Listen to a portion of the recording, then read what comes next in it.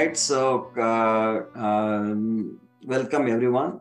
And uh, I see most of the many of the faces uh, from uh, or the, the, the, people from Sri Yoga, but there may be a few others that are not, not part of Sri Yoga.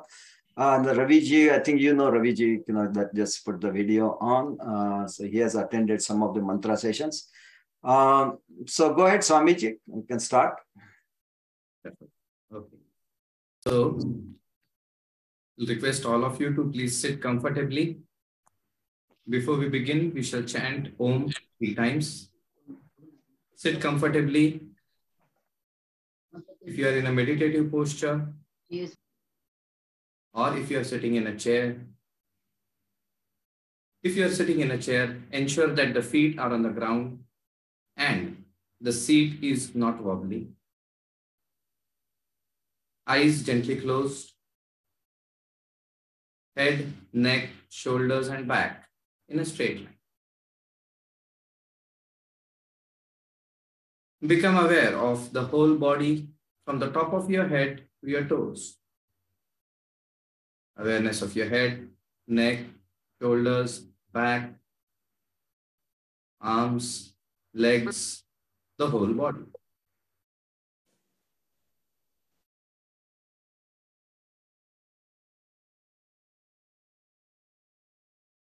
Shift your awareness to your breath. Normal, spontaneous breathing coupled with awareness. I am breathing in and I am breathing out.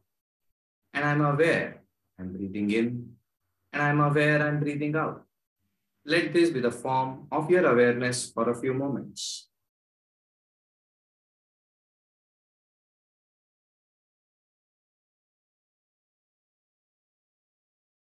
Shift your awareness to your eyebrow center, Bhrumadhya. And at the Bhrumadhya, visualize the form of a brightly burning jyoti, a flame.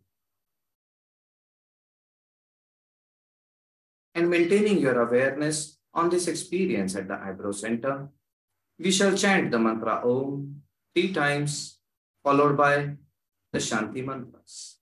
Taking in a deep breath. Om.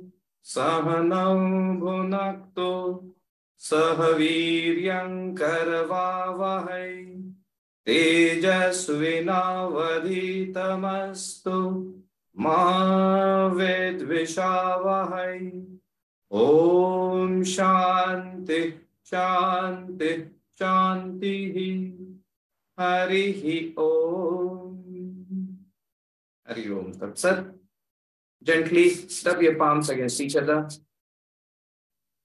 Place the palms on both your eyes. Experience the warmth radiating from the palms to your eyes, to the brain, to the whole body.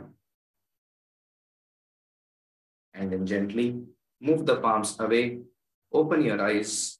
Hari Om Tat Sat. Namo Narayan. Jai Ho. So, a warm welcome to all the participants of this session.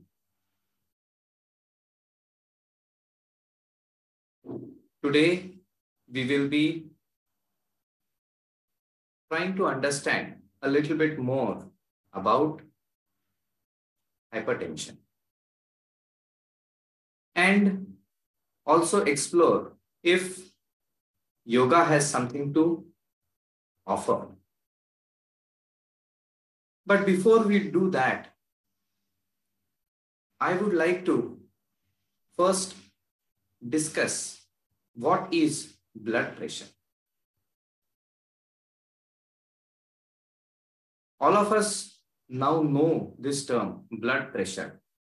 We also use it.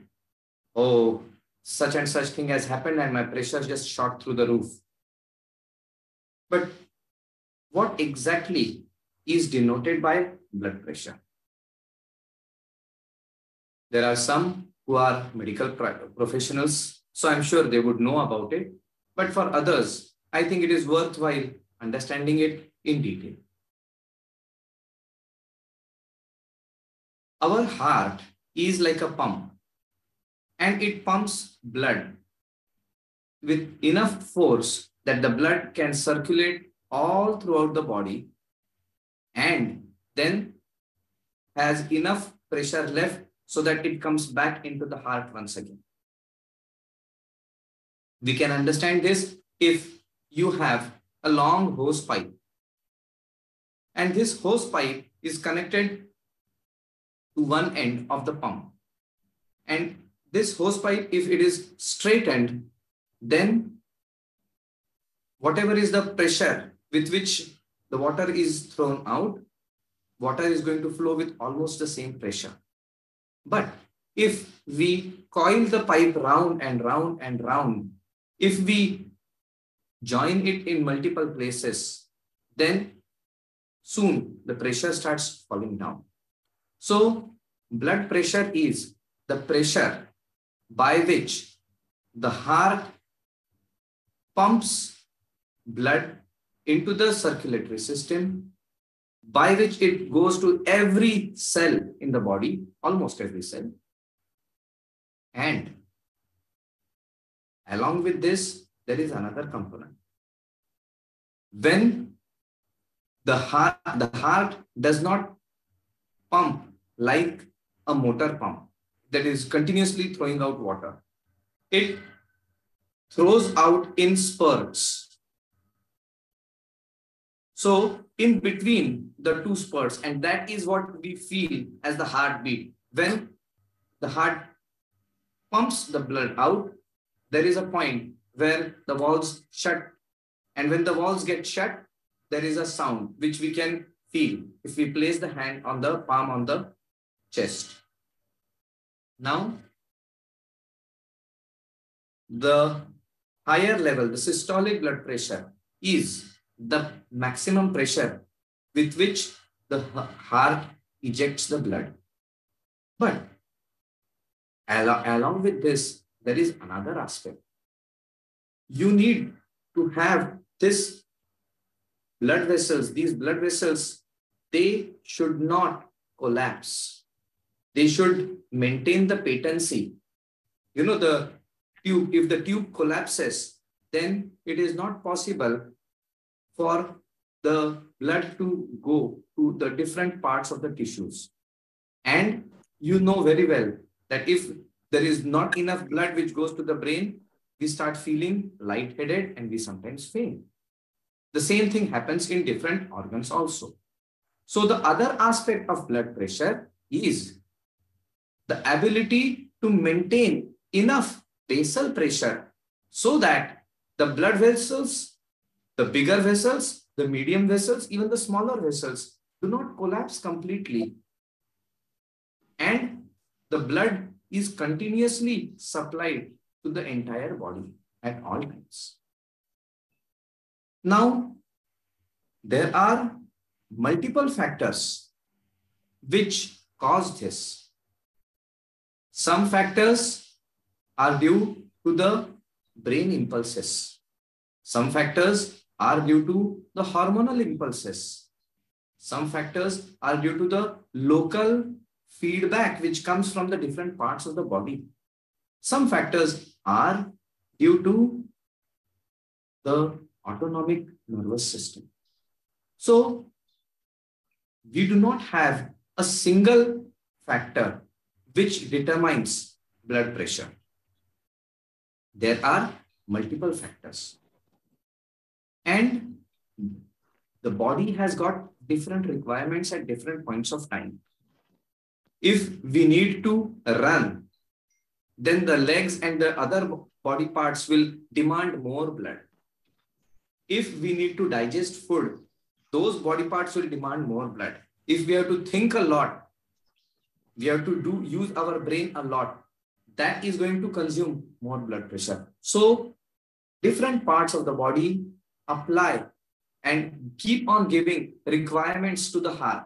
And the heart has to keep on adjusting to the requirements of all.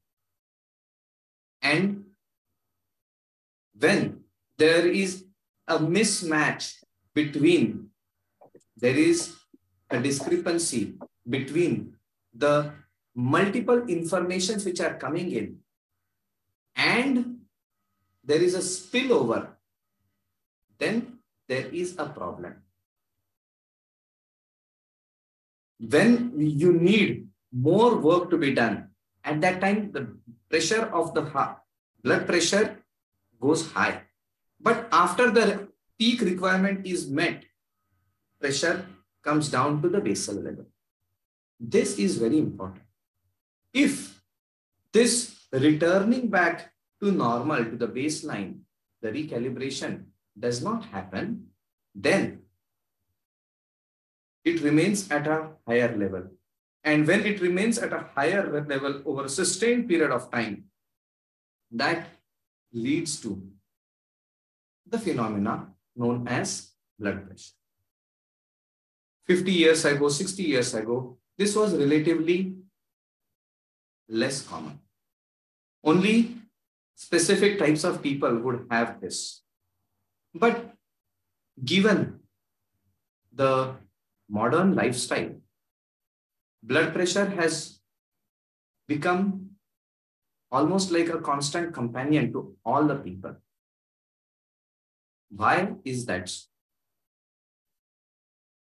That is because there are multiple inputs which are continuously being bombarded on us.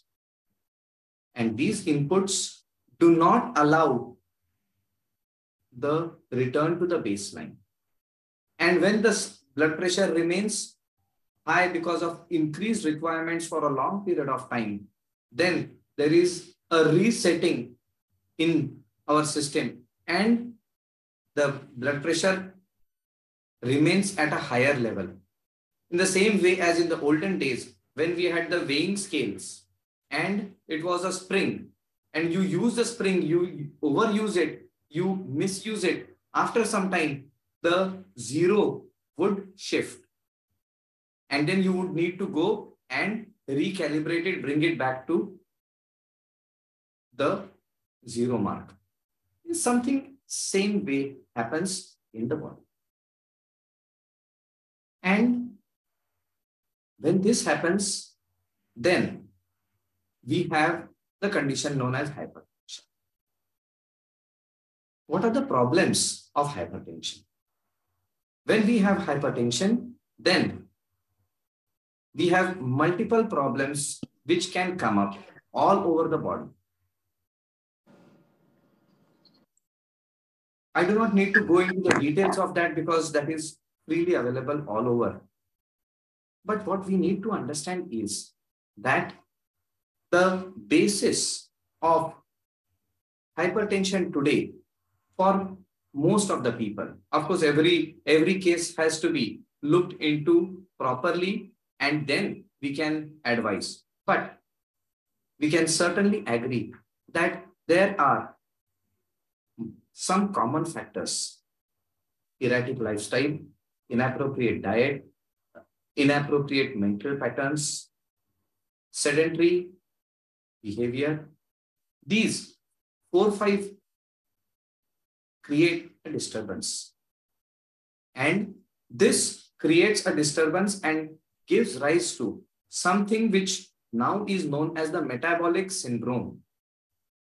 Diabetes or pre-diabetes, obesity or weight management problems, which will automatically include dyslipidemia or cholesterol, hypertension, and some related heart problems. So when these four, five things come together, they have now been called as the metabolic syndrome.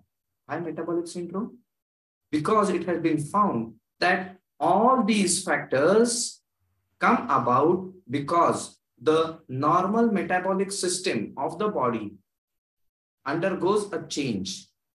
And this changed metabolic system creates a side effect, which is uh, seen, manifests as blood pressure, as diabetes, increased blood sugar, as in, increased uh, adipose tissue, fat tissue, cholesterol, as sometimes heart problem because the heart is being overworked so long.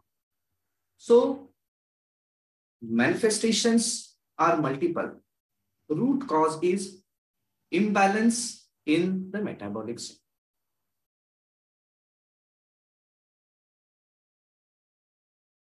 And one of the definitions of yoga is restoring balance. Samatvam yoga uchyate. Maintaining balance is yoga. So whenever there is an imbalance, yoga creates some changes by which the balance is created. Many of us think that yoga means some asanas, some pranayam, and maybe a little bit of a meditation. But yoga is much, much more than that. Yoga is, in Swami Shivanandaji's terms, yoga is the system which maintains harmony between the head, the heart, the hands.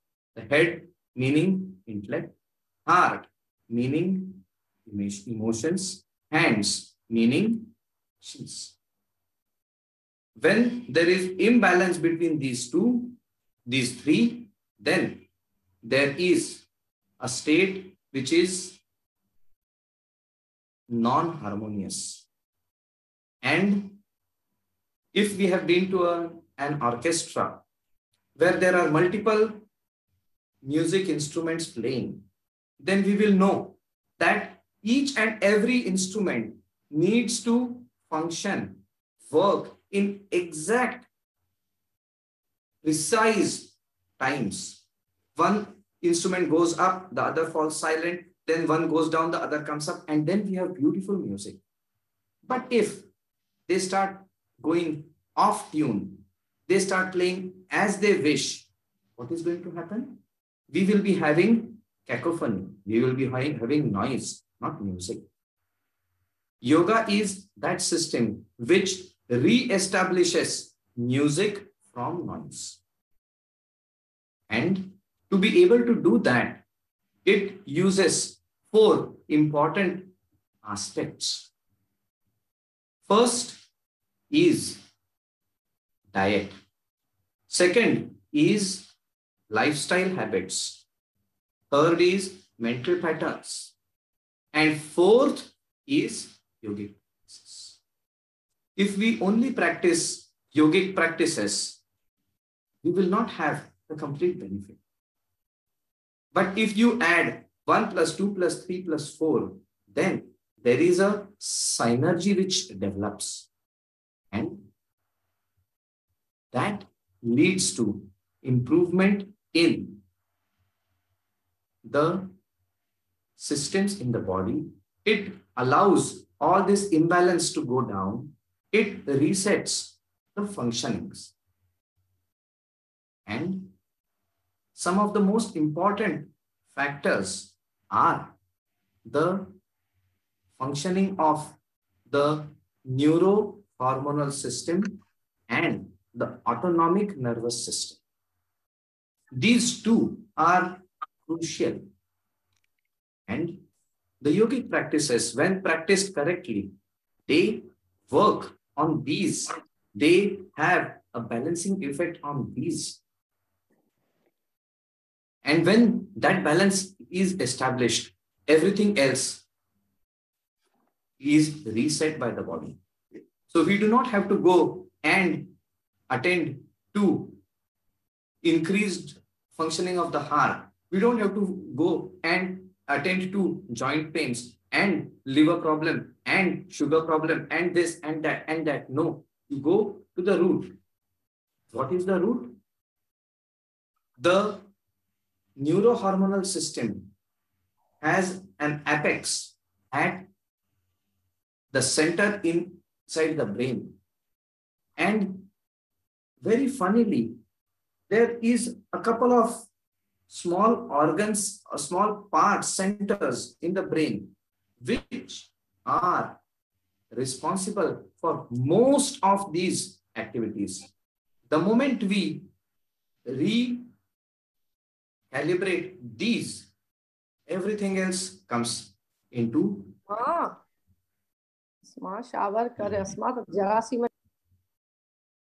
That is something which is. So, if we are practicing asanas, then we need to remember to practice them in the system. They are not just physical exercises. Asan is a practice by which we manipulate the inner energy which is within us, the pranic energy. And as we manipulate the pranic energy, different parts of the body are perfused by that energy. Point number one. Also, the asanas exert an impact on the brain, on the hormonal systems. They recalibrate.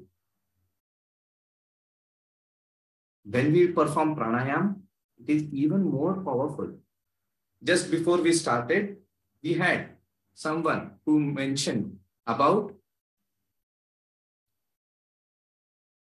the when I have started doing the breathing practices which Vikanji is taking, then I'm able to control myself better. I'm able to manage myself better.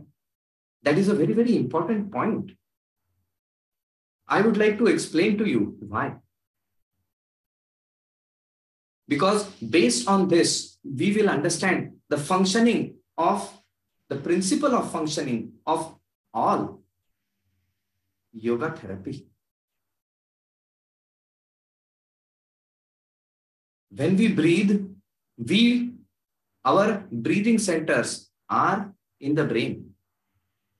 And there is a center known as the hypothalamus, which is in very close communication with these respiratory centers. Any disturbance in the hypothalamus disturbs the respiratory centers. And we know this. The moment we are afraid, we start hyperventilating. The moment we get angry, we start hyperventilating. We are not running around. We are not exerting physically, but still we start hyperventilating. Why? Because the hypothalamus is overactive. Emotions are overactive. That spillover affects the respiratory centers and we start hyperventilating. In yoga, what we do is we make use of this connection and reverse the whole thing. When we have rhythmic, regular, specific frequency breathing, manifestation is here. You're breathing in and out. But the impulses are coming from the respiratory centers. And these impulses, they spill over onto the hypothalamus and other centers, calming them down, recalibrating them, changing the way they are functioning. And when that happens, automatically we are able to make a change in ourselves. That is perhaps the reason why when there's a saying that if you get angry, please wait, count till 10 and then. So when you're going to count till 10, you're not just going to wait and say 1, 2, 3, 4, 5, 6, 7, 8, 9, 10. But you have to count slow. So that means you are going to breathe and not automatically you start breathing deeper. And those of you who have been practicing yoga would know that when we breathe, when we use abdominal breathing, especially long, deep abdominal breathing, is a very powerful way of managing emotions. Why? Abdomen and brain no connection that way, but the connection is in there. This connection is what we make use of. And we also make use of another connection. I don't know if many of you know, but the number of nerve cells, neurons, which are there in our digestive system from the mouth to the anus is almost equal to the active neurons in the brain. So we can say certainly that the digestive system is a brain in itself. When we eat incorrectly, when our digestive system goes haywire, it has a very strong impact on our brain, functioning of the brain. That is the second aspect which we have to understand. I had mentioned diet. I had not mentioned practices first. I had mentioned diet. Why? Because this is something which is very, very powerful impact. Also, it has been shown that the gut flora, the gut flora has an impact on the functioning of the gut neurons. And that has an impact on the brain. Again, that has an the kidneys, now speaking specifically of blood pressure, the kidneys, which are responsible for flushing out all toxins from our bloodstream, they have got a very close relation with blood pressure. There is an enzyme which is secreted in the kidney. That enzyme is processed in the lungs and it has an impact on your blood pressure. There are medicines which are used to block this enzyme. And when that happens, then you are able to bring your blood pressure. But we never think, we never pause to think, what is it that makes the kidney secrete this enzyme excessively? Why not understand that basis and make a change so that the kidney itself does not secrete that much. If the kidney is not going to secrete that enzyme, blood pressure is not going to rise because that enzyme is not in the blood, that excessive stimulation is not going to take place. So that is another aspect of maintaining. And mind you, it doesn't only affect the blood pressure, it affects the entire metabolic system. In last 20, 30 years, the central obesity has gone up. Obesity in itself is a factor for hypertension. So this again happens because our metabolic system has gone through. Yogic practices, a proper integrated approach to yogic practices, diet, lifestyle, and mental patterns make a difference, bringing this imbalance into balance. And please remember that the human body has got almost infinite ability to heal itself. All we need to do is allow the body to heal itself. We just have to take those extraneous factors away and the body will heal itself. Is what we need to do. We don't even need to go to higher practices of yoga. Hmm, with higher practices, many more things are possible, but we don't even need that. Proper diet, because your gut is working there. Enough water. Most of us drink less water we are dehydrated, chronic dehydration, not great de degree of dehydration, small degree of dehydration over a long period of time affects your kidneys. erratic food affects not only the digestive system, but it also affects our biorhythms. They go off. Our erratic lifestyle, we sleep at some time, we get up at any time, not in sync with how the body functions.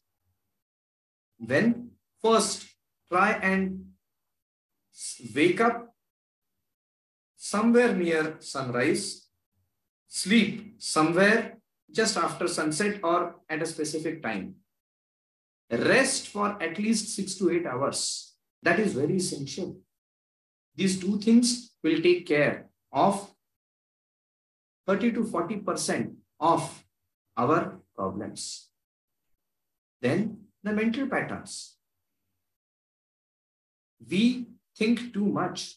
And as we have understood earlier, when we think, there are lots of emotions which come up. And when there are emotions, again, the hypothalamus and the neurohormonal axis gets overactive. When that gets overactive, effect on the blood pressure comes in. So when we change our mental patterns, again, we are reducing the imbalance. And then the yogic practices. Yogic practices are crucial. Please don't think that I am trying to say yogic practices are not important. Because we cannot easily make lifestyle changes. We cannot easily make changes in the mental patterns. Diet, yes, we can. Exercises, yes, we can. But these two are not easy to make because our willpower is almost non-existent. How do we change that? We begin with asanas. We begin with pranayam, some premeditative practices with yoga nidra. But please don't limit yourself to that. Yoga should not be only practiced on the yoga mat, but yoga must be lived 24 7. It is not enough to practice yoga, it is essential to live yoga. Yoga, not performing asanas the whole day, but living the principles of harmony, of balance, of equipoise, of appropriateness. And how to do that? Begin with appropriate asanas. Depending on our age, depending on our ailments. Because if we have got hypertension and if we are 50 plus, quite good chances that we also have got backache, we have joint pains, we have other problems. So we might not be able to do very many asanas. Not a problem. Because what is very essential is when we are doing any asana, there is a system to be followed. Asanas are not just physical exercises that we just keep on moving our body. We might as well do some aerobics, we might as well do some uh, gym, we might do it, some other forms. They are not wrong, they are very, very beneficial. But that is not yoga. In yoga, we are re-establishing the harmony. Action is happening outside. Skanda Chakra. Action is happening outside. Griva Sanchalan. Action is happening outside. Makarasan, Bhujangasan. Action is happening outside. Marjari Asan. Many asanas. But they have an impact because the impulses come from the brain. Move the neck forward, roll it to your right, roll it back, roll it to the left. Now, when we include the component of awareness in this, then there is another dimension which comes in. How is it? If you close your eyes and then I raise your hand, do you know where your hand is. Even without seeing, you can tell almost accurately the position of your hand. You ask the uh, other hand to be raised to the same degree, you are able to do that. Why? Because there is another system within the neurological system which tells us the positioning of the body. And when we use awareness, then we start using that system. And when we start using that system, that system has an impact on all centers of the brain. So when we have a rhythm which is being set all throughout the brain, action is happening outside. You are doing an asana outside, but impact is happening inside. The brain waves, impulses are being recalibrated, synchronized, harmonized.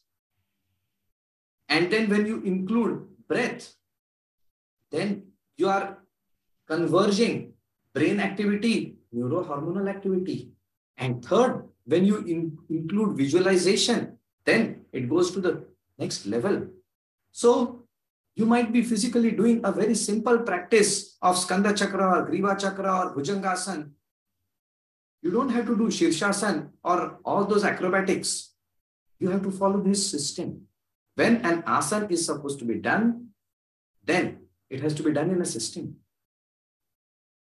Swami Niranjananandji, the Paramacharya of Bihar School of Yoga, he mentioned that when we do an asana, it should be done in five dimensions with physical awareness, with breath awareness, with visualization, and two more.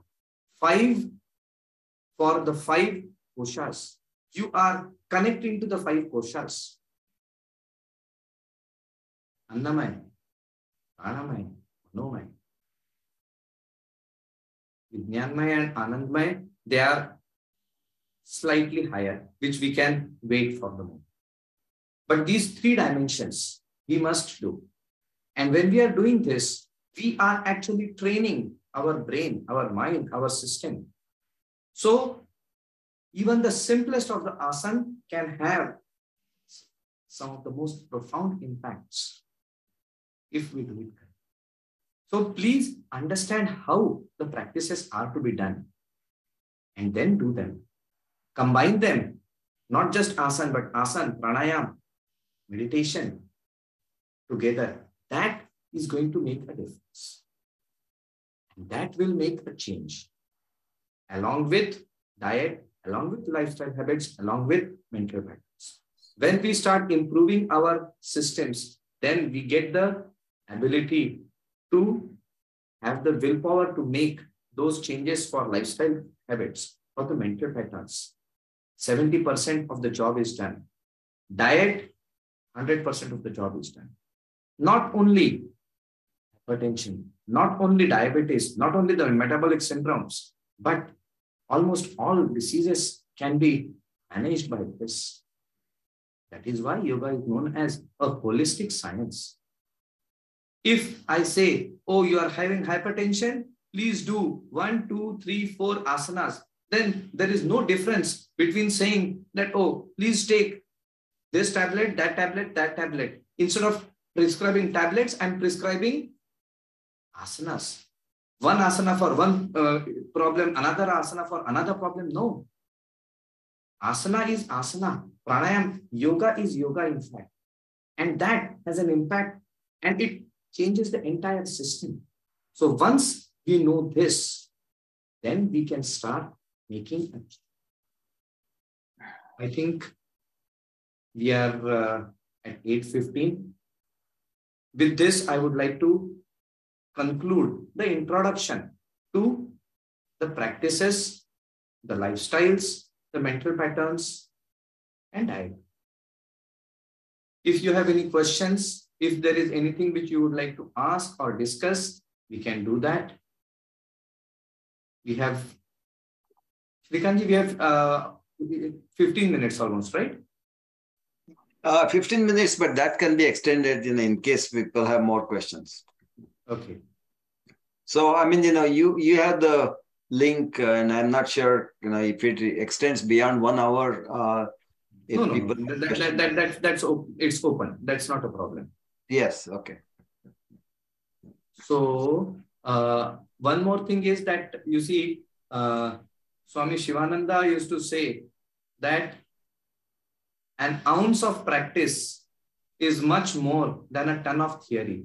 So, uh, I will request for 10 minutes after whatever questions, etc., happen, 10 minutes of a small practice before we close. Excellent idea.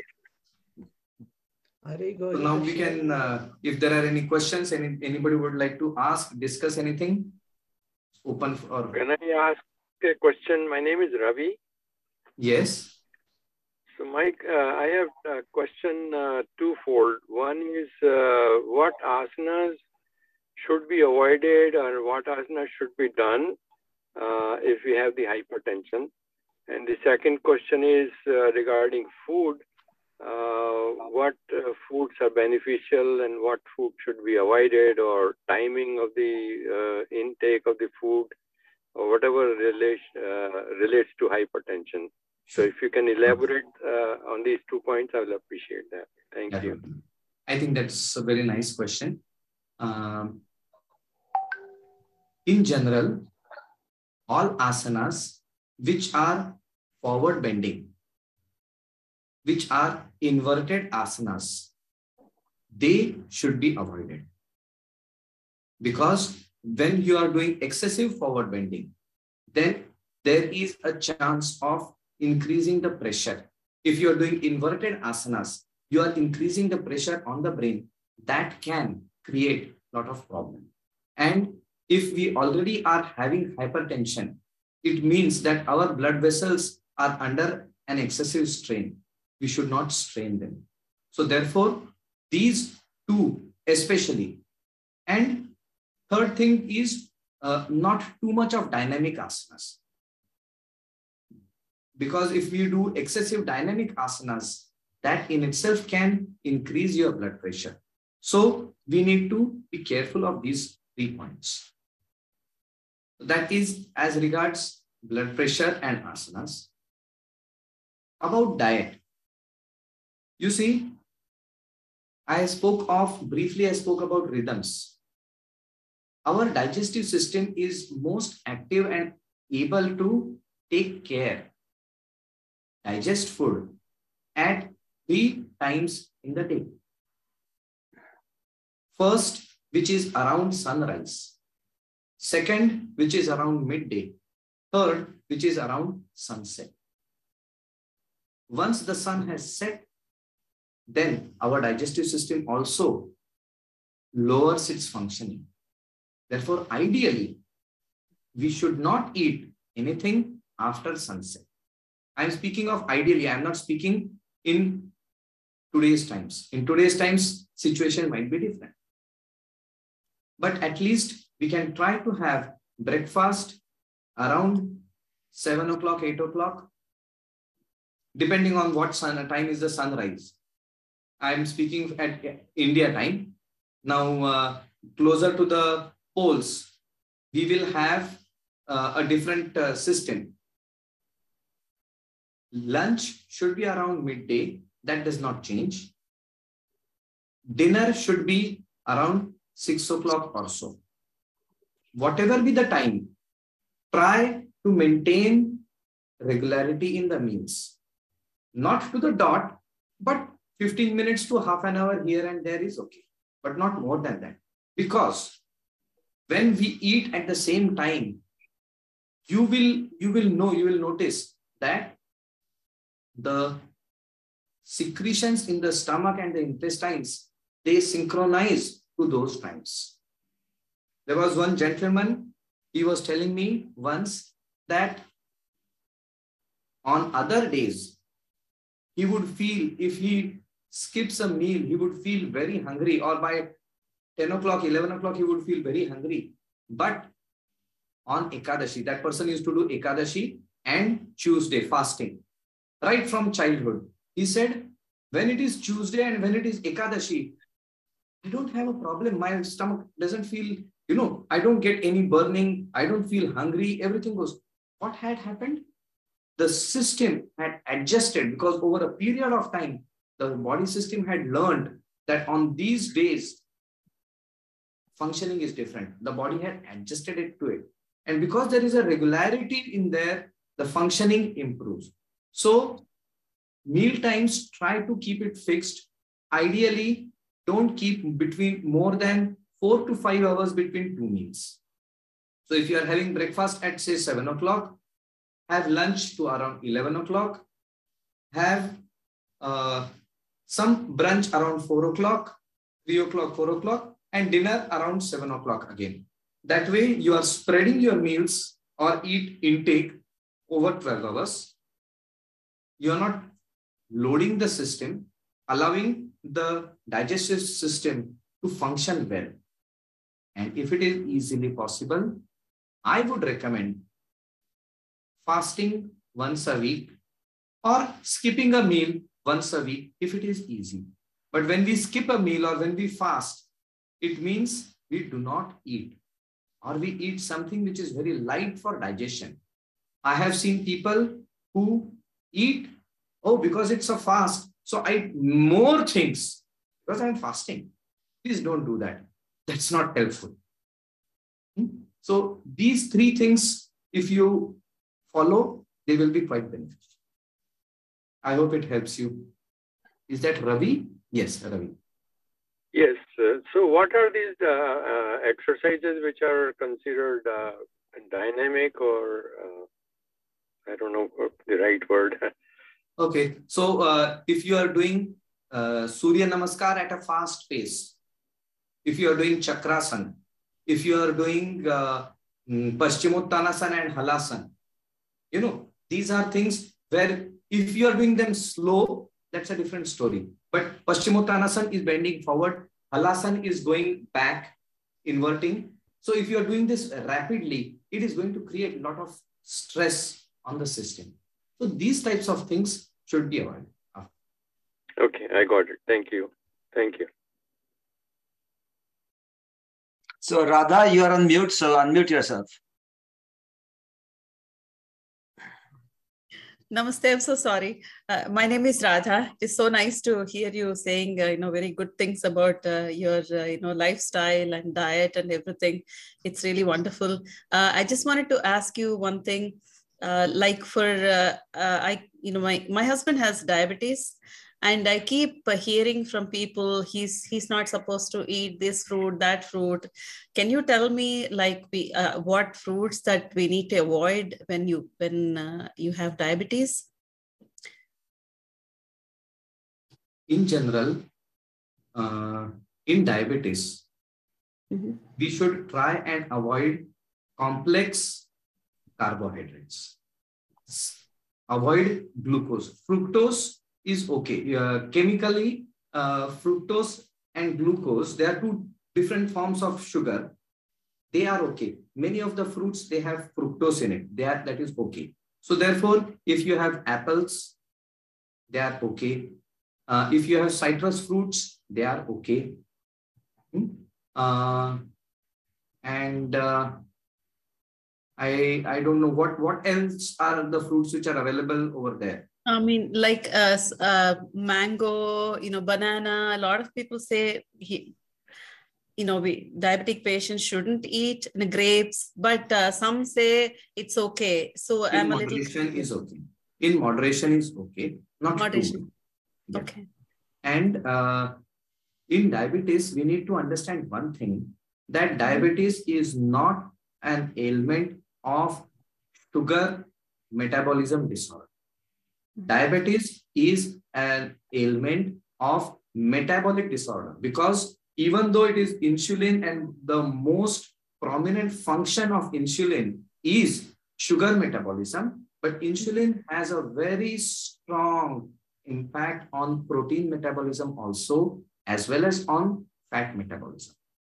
So when insulin levels are going up and down, these others are also being affected we cannot me measure the protein levels and fat levels so easily. Sugar levels are very easy to measure and they are the most drastic. So therefore, the common thought has been diabetes. I mean, I mean, in India, another name for diabetes is, oh, mujhe sugar hai. That's what people say. But we need to understand that it is more than that. We need to bring this metabolism back to normal. We should not stop things in uh, moderation Secondly, depending on the age, depending on other uh, complications and comorbidities also. But yes. please understand that uh, diabetes also happens because there, there is a, a saying, water, water everywhere, not a drop to drink. Yes.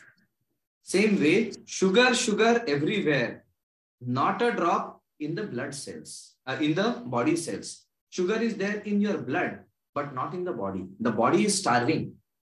Mhm. So it is essential that the sugar needs to go. And that is what is another big factor which is coming up, insulin resistance. So our body cells, they become resistant to insulin. One of the best or easiest methods which have been found is the good old Carla, Karela.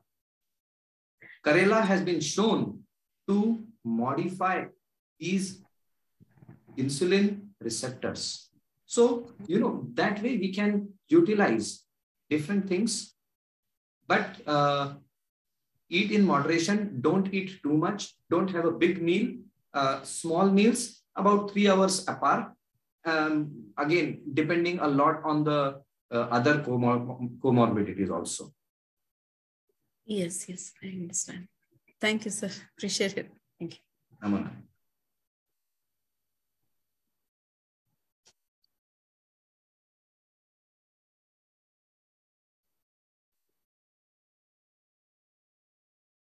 Well, if you have more questions, you can always uh, uh, ask uh, Swamiji uh, or Shilpa. You, know, she, you can put the contacts, uh, Shilpa, uh, and uh, so that way, if you have more questions, uh, you can uh, ask them. And uh, also, this is kind of a, a webinar uh, with, which will be followed by some kind of uh, Shilpa will contact you about. Uh, you know, Swamiji plans to have you know sessions regularly to manage hypertension, and again, not just hypertension, but overall, you know, your you know, you know, it could be you know the diabetes or any other similar metabolic uh, issues. Uh, so, you know, you are welcome to you know contact them and uh, you know get more information.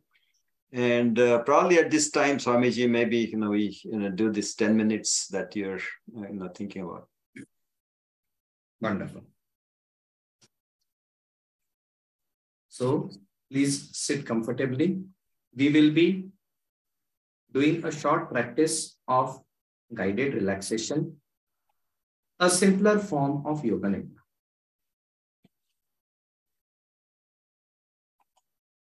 It has been shown many times that just with yoga nidra, the hypertension of many people has come down. I personally have seen many patients who were on antihypertensives.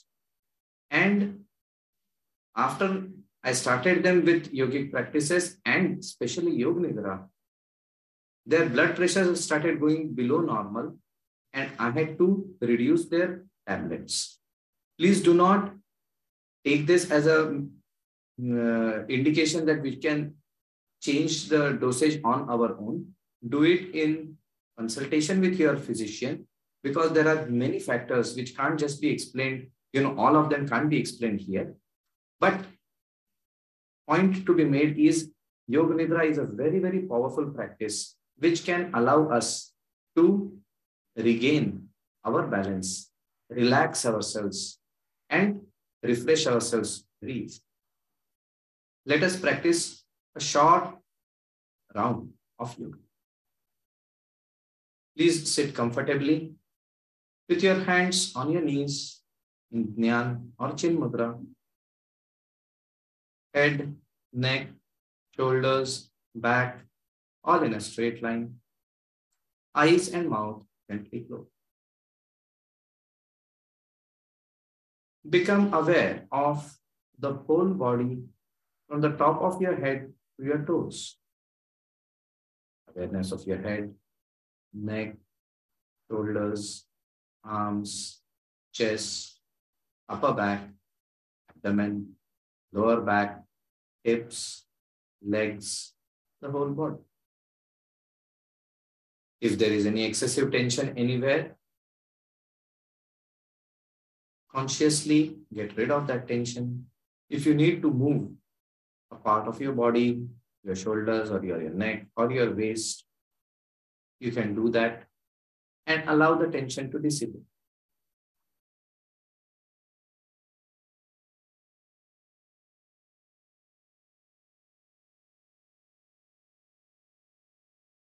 Make yourself comfortable. If you are wearing glasses, remove them. If you are wearing a watch, remove it. If you are wearing a belt or tight trousers, remove the belt or loosen the belt or the band so that you are comfortable. And as early as possible, come into a position of complete relaxed stillness.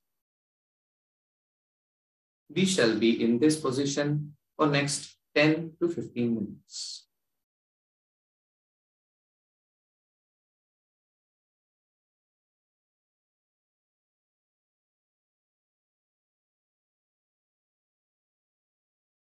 There are few important instructions in the practice of Yoga Nidra.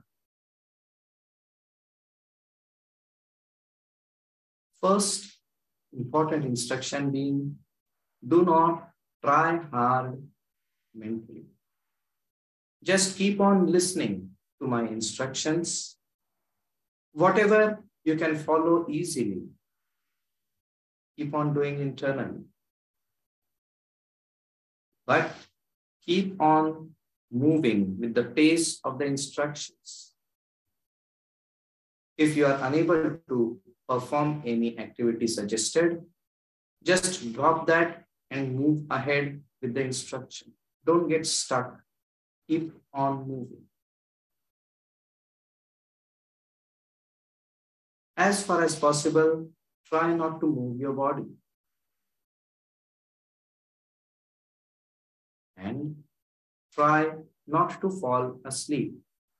Keep on being awake and keep on listening to my instructions.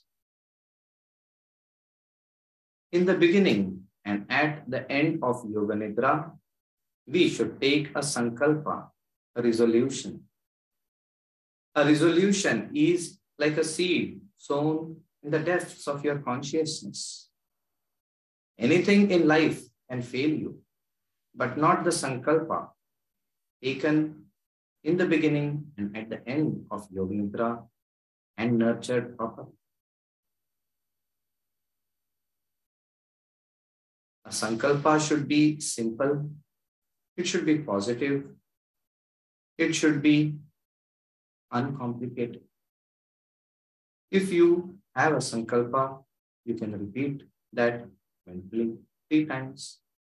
And if you have not thought about a sankalpa, you can take the sankalpa of positive health, the physical, mental, emotional, and social dimensions. Repeat the sankalpa to yourself mentally three times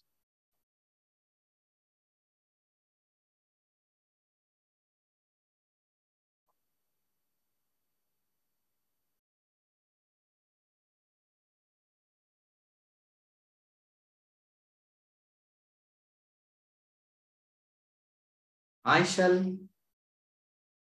enumerate the different parts of the body and you will rotate your awareness along the different body parts.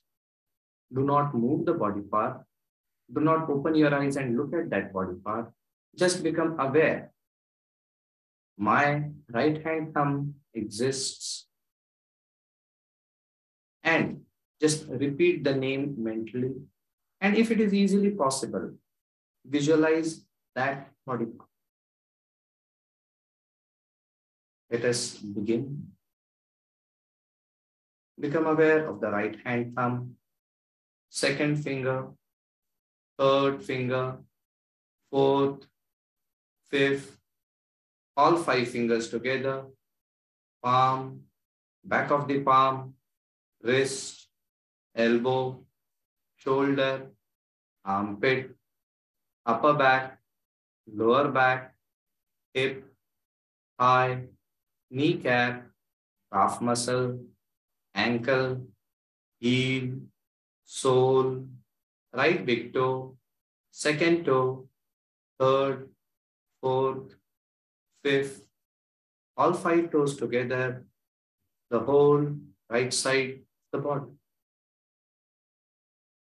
Bring your awareness to your left side, left hand thumb, second finger, third, fourth, fifth, all five fingers together, palm, back of the palm, wrist, elbow, shoulder, armpit, upper back, lower back, hip, thigh, kneecap, calf muscle, ankle, heel, sole, left big toe, second toe, third, fourth, fifth, all five toes together, the whole left side of the body.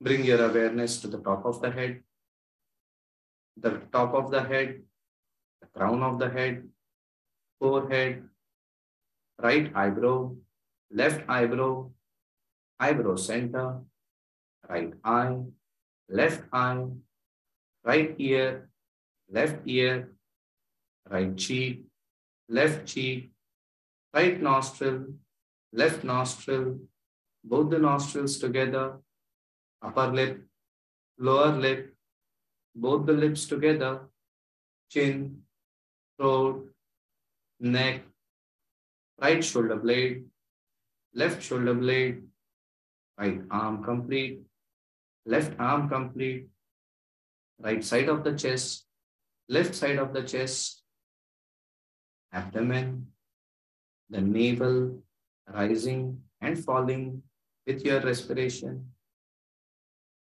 upper back, lower back, right hip, left hip, right leg complete, left leg complete, the whole body, the whole body, the whole body, the whole body, the whole body.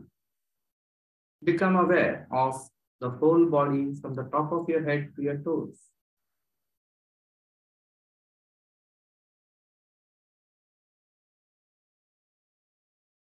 The whole body is still, stationary, comfortable. And in this still, stationary body, only the movement of respiration is going on. You are breathing in and breathing out, breathing in and breathing out, breathing in and breathing out. We shall now count our breaths. We shall do this in the reverse direction from 27 to 1. Inhalation, exhalation, 27. Inhalation, exhalation, 26, and so on, from 27 to 1. And if you make a mistake anywhere, if you fumble in the count, go back to 27 and start all over again. You can begin your count now.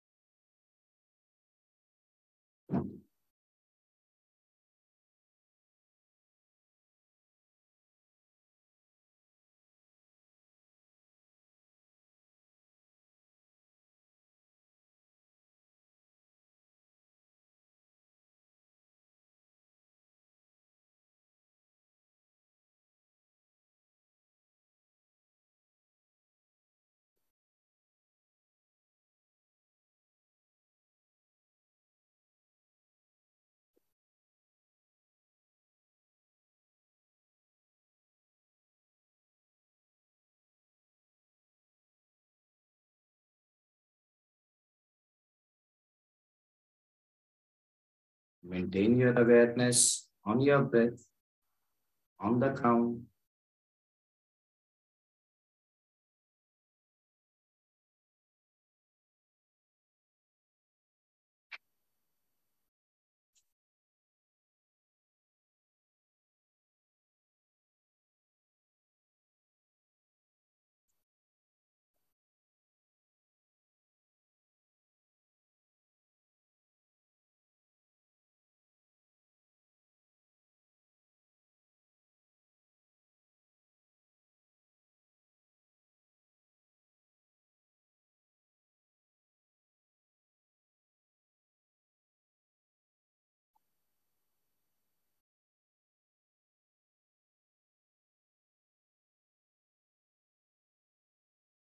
And now complete your counting. Drop the awareness of the count. Recollect the number you have reached. Repeat it mentally. And bring your awareness to the sankalpa you had taken in the beginning of the Yoga Nidra practice. Repeat your sankalpa three times. Slowly start externalizing your awareness.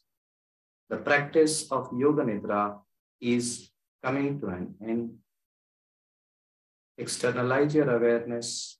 Become aware of all the contact points between the floor, the body, the contact points between the body and the clothes, body and the breeze. Externalize your awareness and become aware of the sounds and smells coming from inside your room. Externalize your awareness more and become aware of the sounds, situations, and circumstances outside the room.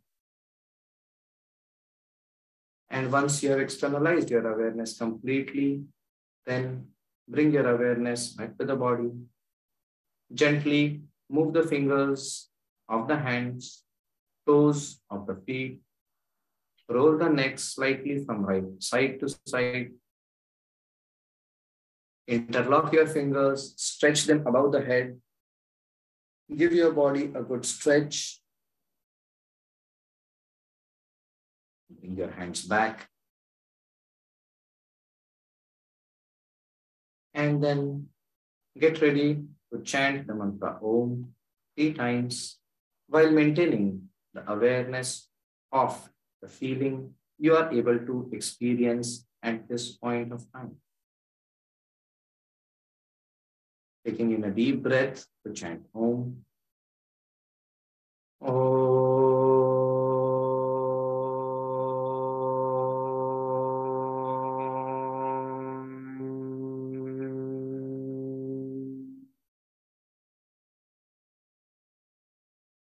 uh,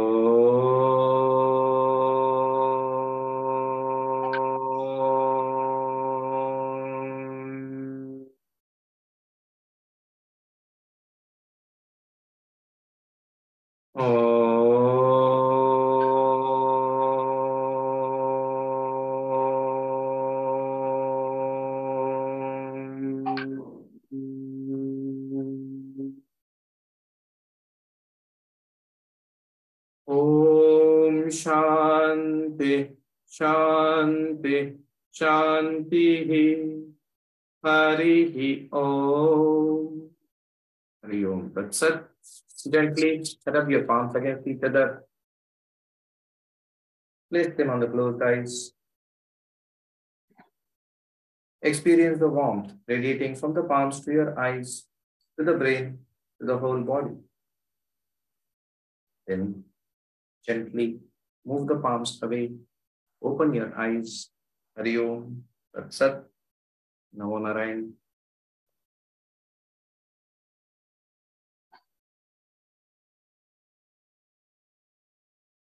So with this, we complete our session today. Over to you, Srikanji. Uh, so uh, thank you all for joining this session. And again, if you want to participate in uh, you know uh, the sessions that uh, Swamiji will be conducting next uh, three months, uh, uh, you can contact him. And again, if you so the I think re- there was some question about recording, and I think Shilpa already answered that question. It will be available to people that have you know uh, Sri Yoga or you know, uh, the other you know, uh, people that have sent the email, uh, they, you'll get the recording. And uh, so all the best to you. And again, uh, thank you, Swamiji and Shilpa for arranging, arranging this session. Thank you very much. It was a great pleasure, Shrikanchi, to be with you once again. Thank you. Thank you, Thank you.